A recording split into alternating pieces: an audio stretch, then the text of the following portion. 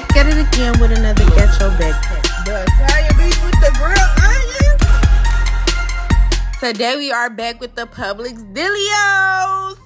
Y'all, so Publix got these salads two for six. And one thing about Publix, they always have a deal, whether it's two for something or buy one, get one something. They got the buy one, get one free bacon, bacon, different brands. They also had the sausage.